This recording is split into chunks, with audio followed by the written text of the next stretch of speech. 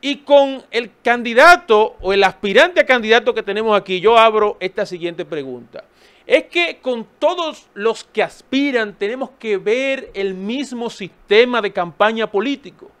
Son todos que deben de subirse en una cola de un motor, deben de comerse una fritura, aunque le haga daño, para que puedan salir a las calles y verlo. Hay que hacer operativos médicos. ¿Conoce usted a dónde usted va a aspirar? ¿Cuáles son realmente sus funciones? Aquí hay muchos, Polanco, que no saben a lo que van. Cuéntenos, Villar. Sí. Eh, mi nombre es José Alberto Villar. José Alberto Villar. Eh, presidente del PRM en la zona Q5, allá en la circunscripción número 3, municipio de Santo Domingo Este. ¿A qué aspiras? A regidor. A regidor. Eh, actualmente en la circunscripción número 3, que es la circunscripción más grande que tiene el municipio de Santo Domingo Este.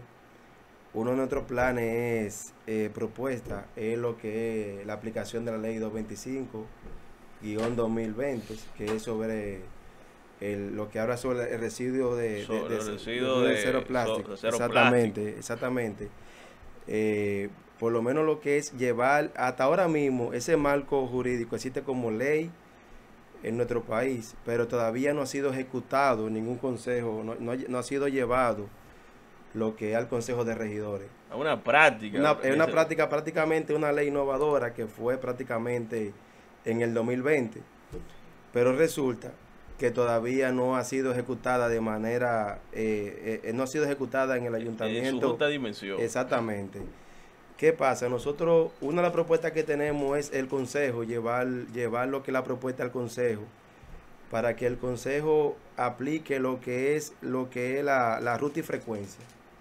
Por lo menos de lo que es la, lo que es la, el, eh, primero la, la ruta y frecuencia y la educación al municipio. Yo creo que eso es lo fundamental. Exactamente, porque- que Vamos a poner una, un plástico. Exactamente, porque ¿Cómo óigame- yo puedo poner un plástico para que se procese? Exactamente, porque nosotros a los televidentes no podemos hablarle de lo que es la ley en sí, la ley en sí, pero por lo menos eh, de manera técnica, eh, lo que es eh, llevar, por lo menos decirlo de manera breve en este programa, la- lo que sería la ruta y frecuencia, sería eh, los mismos camiones de basura, ¿verdad? Entonces también lo que es que sean supervisados por el ayuntamiento. ¿Por qué? Porque esos destinos de esos plásticos van a lo que es un relleno, eh, lo- lo- la- usted sabe que la basura va a un relleno sanitario, un relleno sanitario, No, eso va a un vertedero. a un que- vertedero, exactamente. Dice Pero ¿qué pa- relleno, es- suena es- bonito, es- suena- bonito, Exactamente. Entonces, el tema está en nosotros tratar de que el plas- educar al ciudadano eh, municipal es una tarea bastante dura. No, se, se diría no que dura, pero si nosotros lo- por lo menos educamos al ciudadano que se puede hacer, porque el ayuntamiento, por lo menos el ayuntamiento de Santo Domingo Este tiene, tiene recursos bastante para eso. El ciudadano se puede educar para que el. Sí, David, David. Se puede, se puede educar que- ciudadano. Sí, sí. que, que el municipio tiene recursos bastante para estas acciones, pero no se ve. No, no ¿Cómo- se ve. eso- Primero ¿Cómo tiene que comenzar. puedes tú, dentro de una sala capitular, si aspiraras a ella, poner, impulsar tus ideas con el tema de que hay recursos, pero que en la actualidad no se ven? Bueno, ese es un tema Es que... En la actualidad no es que no no, se ven los alcalde, que no recursos, lo que no se ven las acciones con estos recursos que hay. Sí. No me vas a disculpar, pero para mí no es, Sí. Manuel Jiménez no es mi alcalde. De, de manera te lo digo, es no es mi Pero el pa- alcalde pa' mí. es que lo va a llevar Eh, mira, Pa' mí, eh, pa' realmente mí, pa' mí, pa' nosotros, mí, pa' mí. por lo menos yo que soy eh, del Partido Revolucionario Moderno, nosotros, si mañana Manuel es el candidato, que en este caso realmente tenemos que abrazarlo, porque Mira. eh, realmente está aspirando y un tema No, que... pero yo te voy a decir algo. Yo te voy a decir algo. Y es un tema del ciudadano, del, Exactamente. munic- del municipio, correcto. del votante. Es correcto. Manuel Jiménez, y esto es un dato increíble. Nosotros, yo me he encargado, yo soy enemigo de él. Yo sí, yo aquí todos los días, todo lo que venga de él, eh, eh, es que no está trabajando. Y no es un tema personal, sino un tema de funciones. Pero el municipio de Santo Domingo Este, del municipio de Santo Domingo Este, no sé si por un tema de imagen, tiene más cercanía con Manuel Jiménez, con otros aspirantes, más con otros aspirantes de- del PRM. Es decir, que Manuel actualmente está no sé, no sé si, si eh, por el momento que yo lo vi, él está por encima, hasta de uno de los dirigentes que yo entendía Hay que mudarse, Santo Domingo. que podía ser, que Hay podía mudarse. ser uno de los dirigentes con más gerencia, que sería Diostacio, y el señor Adán Peguero, que dentro del, de, dentro de lo que es la cúpula del, del PRM, eh, es uno de los es uno de los dirigentes con más eh, que uno más ha escuchado o que más trabajo ha tenido dentro del municipio. Lamentamos que el compañero que nos acompaña el día de hoy tenga que ir de arrastre con una figura con Manuel Jiménez, si es el candidato. Hay un TikTok que dice, un meme, y tiene que estar en TikTok, si estás sí. en campaña, para que sepa. no, claro. el que no está en TikTok no estamos- arrastra. Nosotros estamos día con Hay un. TikTok que dice, ya yo me estoy haciendo famoso. Déjame ver, tengo 14 vistas mi video y ya yo lo he visto 11 veces. Oye las aspiraciones de ese. No, no. Cualquiera, y voy con esa pregunta, en un barrio que lo saludan 4 y 5 tigres de una cancha, 4 y 5 doñas de por allá, ya se sienten populares. ¿Tú sientes esa popularidad o entiendes que tienes un trabajo político realizado para lanzarte a esa posición? ¿Qué Primer- trabajo tú has hecho dentro del Primeramente, nosotros aspiramos en el 2015, cuando era el viejo PR, el- digo, cuando- en el mismo PR, Ah, ya cuando se formó. En ese momento, eh, prácticamente, por la misma situación de un partido nuevo, no pudimos caer en la boleta. Pero nosotros venimos con un trabajo dentro del partido de Revolucionario Moderno desde el 2013, prácticamente, sin coger vacaciones. Es decir, recientemente, la la- ahora recientemente nosotros ganamos una convención de voto a voto en nuestra zona, que fue, yo creo, yo me atrevo a decir eh, que yo soy de los presidentes más jóvenes del PRM en, mi municipio de Santo Domingo Este. ¿Por qué? ¿Por qué le digo esto? Porque real y efectivamente nosotros venimos con un trabajo he- hecho por lo menos desde, desde el 2013, como le dije, pero lo que nosotros como políticos siempre nos ha dado la, la tarea es ser comunitario.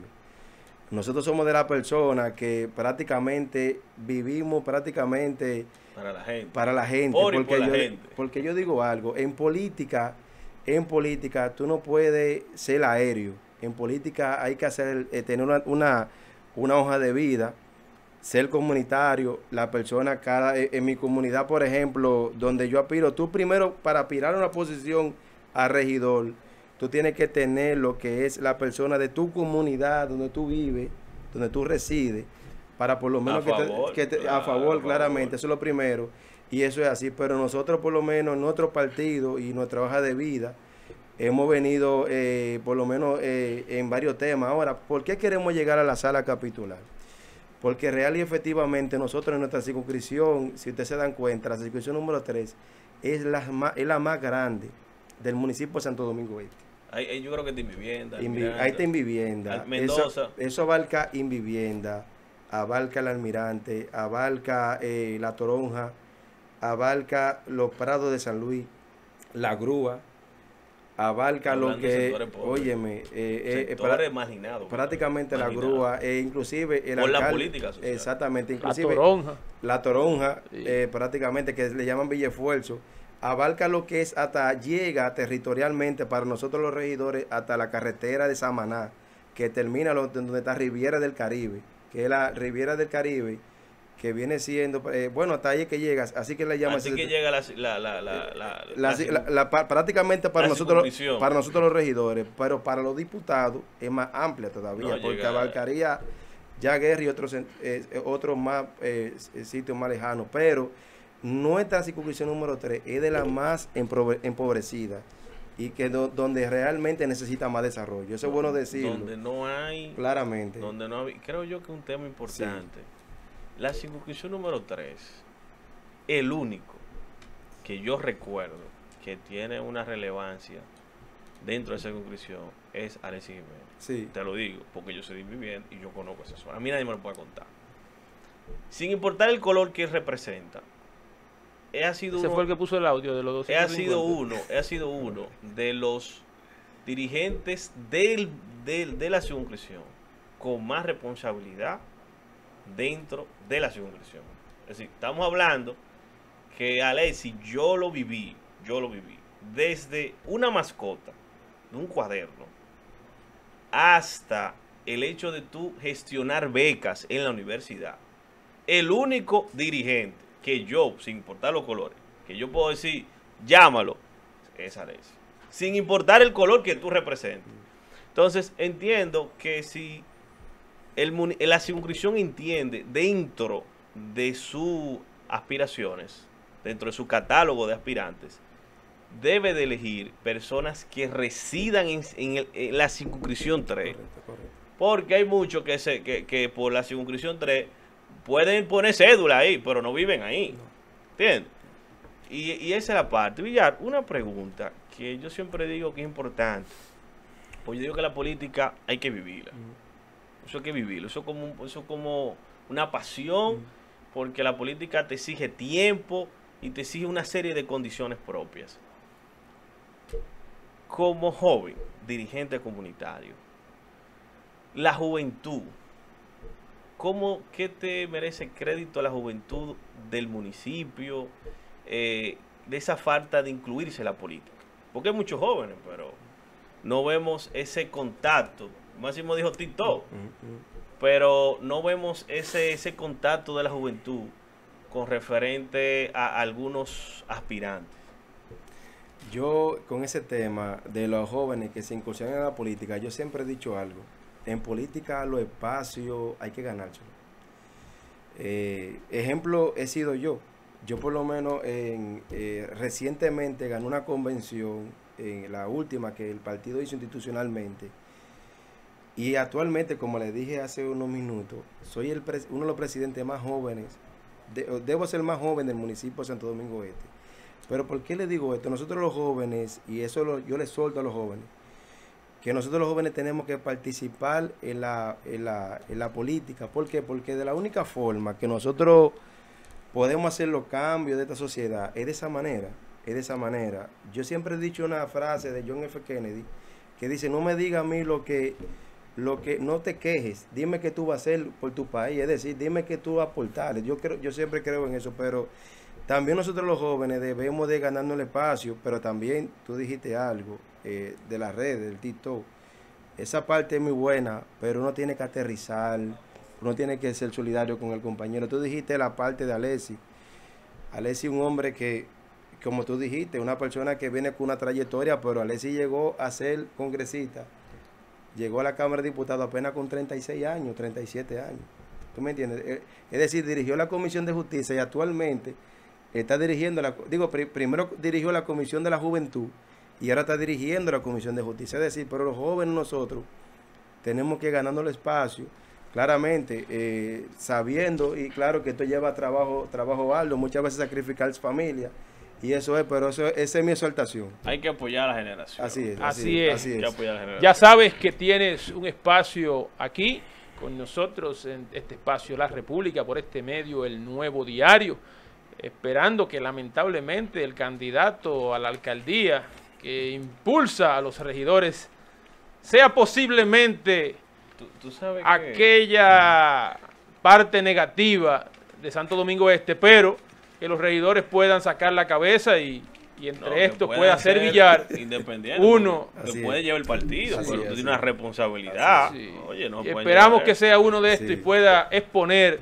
sus ideas y proyectos. Hasta aquí su programa La República, por este medio el nuevo diario, recordando que denunciamos que está en riesgo la propiedad en República Dominicana con la sentencia del Tribunal Constitucional 231-23 de hace un mes y algo. Los derechos fundamentales incluye la propiedad y no podemos poner en riesgo inversiones que hacemos, lo que podemos comprar y alquilar y que luego tengamos que perder estas propiedades.